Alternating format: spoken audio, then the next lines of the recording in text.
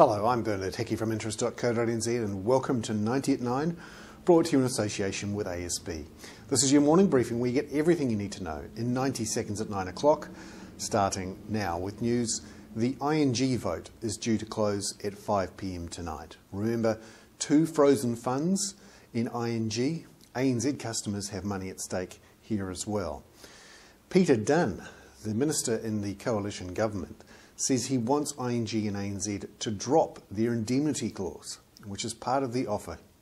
They, ING will buy back the units as long as you promise not to sue either ING or ANZ.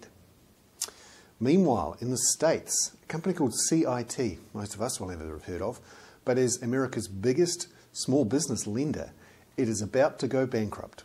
It has 1 million customers and over $70 billion worth of loans it is the world's third largest aircraft leasing firm. Meanwhile, across the Pacific in China, the Rio Tinto affair is getting worse.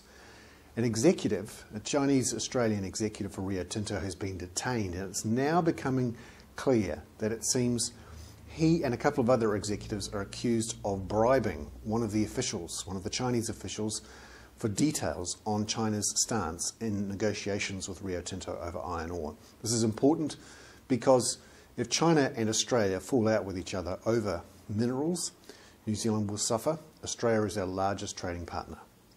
And meanwhile, in Australia, there is talk that NAB will have to take losses of almost $4.9 billion Australian because of a toxic bond portfolio it holds.